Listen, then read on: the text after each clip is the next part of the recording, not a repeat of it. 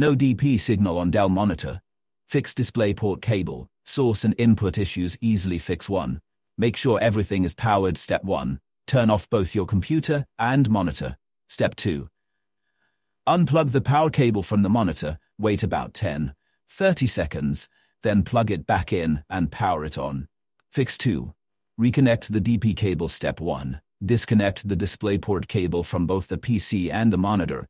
Step 2. Replug it securely at both ends, making sure to use the correct DP ports. Fix 3. Select the correct input source Step 1.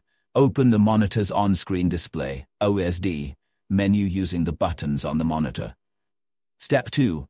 Navigate to Input Source and manually select DisplayPort, not HDMI or Auto. Fix 4. HDMI, DP Reset Trick, Dell-specific shakeup method. Step 1.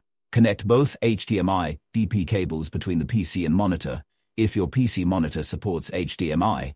Step 2. Set monitor to HDMI input via OSD. Display should work.